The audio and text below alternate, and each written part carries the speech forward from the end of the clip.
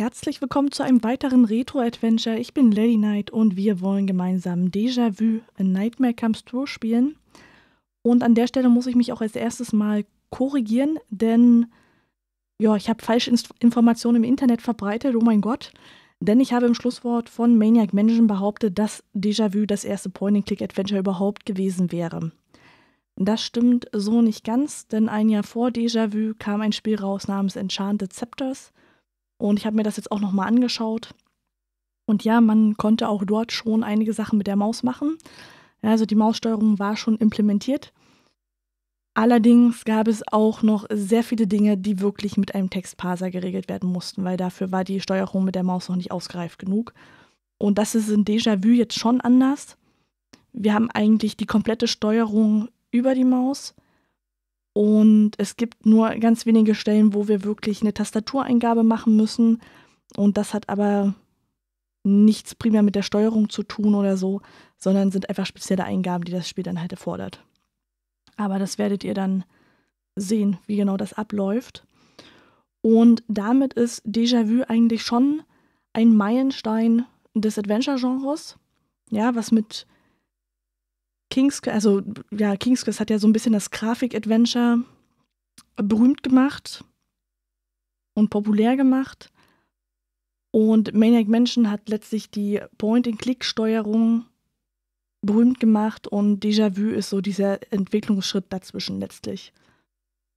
Ja, ähm, weg vom Textparser.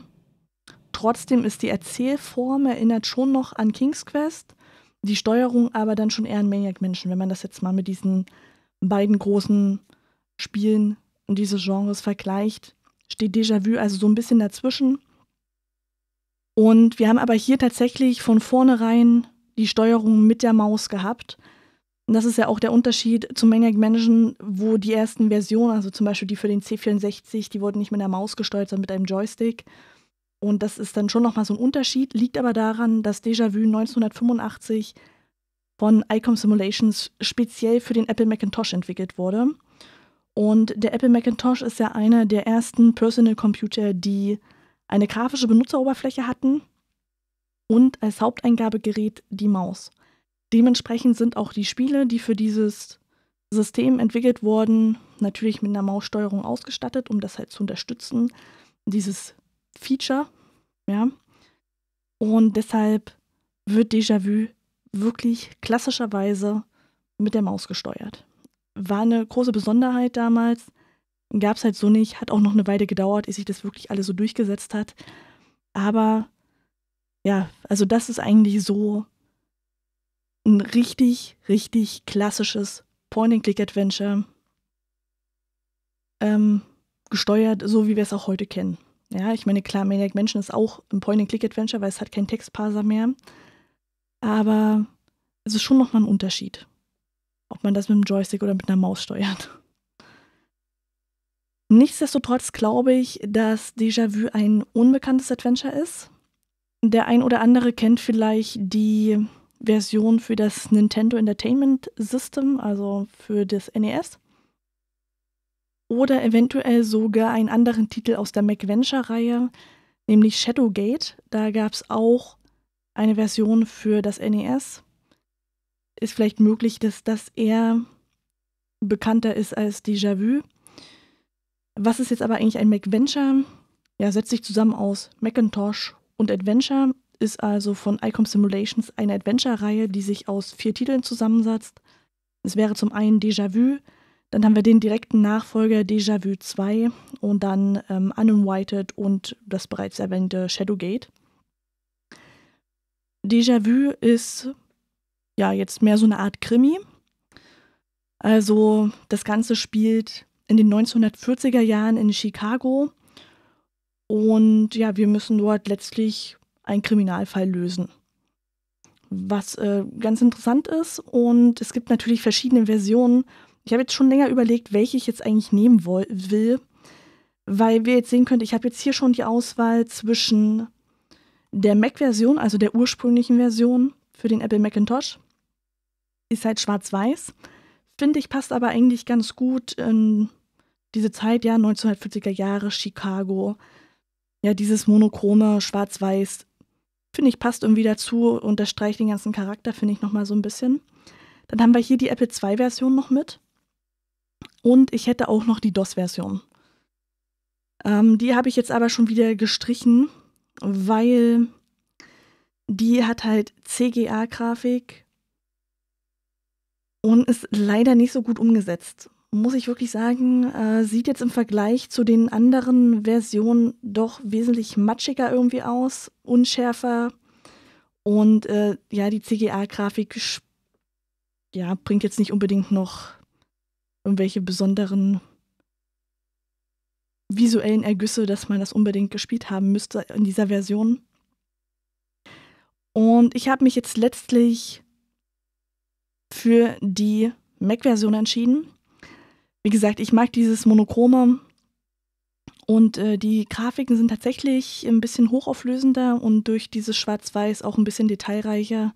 Ich finde, es ist eigentlich die schönste Version und dementsprechend werde ich also diese spielen. Es gab natürlich jetzt nicht nur die drei, die ich jetzt aufgezählt habe. Es gab auch eine Version für den C64, für den Amiga, für den Atari und NES hatte ich ja schon gesagt. Ähm, NES-Version ist dann natürlich nochmal ein bisschen anders, weil man das natürlich ähm, mit dem Gamepad spielt. Ja, aber wie gesagt, wir werden also die Mac-Version uns anschauen und ich denke, das ist eigentlich eine ganz gute Wahl. Eine Sache vielleicht noch, das Spiel ist auf Englisch. Es gibt keine deutsche Version. Und ich werde versuchen, das wieder so gut es geht ins Deutsche zu übertragen. Ähm, klar ist derjenige, der jetzt äh, Englisch beherrscht und mitlesen kann, ein bisschen im Vorteil, weil gerade irgendwelche Wortwitze oder sowas, die kann ich natürlich nicht eins zu eins großartig immer übersetzen. Das funktioniert nicht so gut. Von daher wäre das schon ein Vorteil, aber diejenigen, die eben Englisch nicht so gut beherrschen, werden zumindest den, eine sinngemäße Übersetzung von mir bekommen, auf jeden Fall. Und vielleicht noch was. Ähm, das, was wir jetzt hier sehen, das ist praktisch, das ist schon eine Art Remake, würde ich jetzt sagen. Das ist ein Remake oder ein, ach, mit diesen ganzen Begriffen werfe ich sowieso durcheinander. Auf jeden Fall ist das nicht über einen Emulator gespielt, sondern ZooJoy, diese Firma, die also diese Version, die ihr jetzt hier seht, rausgebracht hat, 2015, die haben die Originalgrafiken genommen aus dem Spiel und dann aber den Rest neu ge gebaut, sage ich jetzt mal, so dass das halt für die heute, heutige Hardware funktionsfähig ist. Die Version gibt es auf Steam zu kaufen, kann man als Bundle kaufen mit allen vier MacVenture-Spielen sowohl in der Mac-Version als auch in der Apple II-Version für wirklich wenig Geld, irgendwie 7 Euro oder so. Also das lohnt sich dann schon mal, wer sich für sowas interessiert, kann da, denke ich mal, getrost zugreifen. Die sind eigentlich alle gut, die Spiele. Kann man jetzt nicht sagen, ist auch für jemanden was, der es vielleicht noch nie gespielt hat. Ähm, ich denke, das sind Retro-Adventure, die man auch durchaus heute noch gut zum ersten Mal spielen kann, ohne dass man dafür jetzt unbedingt eine Lösung braucht. Ja, das würde ich jetzt zum Beispiel bei den alten Sierra-Spielen nicht unbedingt sagen. Das, da braucht man schon sehr langen Geduldsfaden, aber hier geht das eigentlich ganz gut. Das kann man auf jeden Fall auch mal so machen. Ja, jetzt bin ich ja wirklich fertig. Und da wollen wir natürlich als nächstes ins Spiel starten. Machen wir aber erst im nächsten Video. Also bis dahin. Tschüss.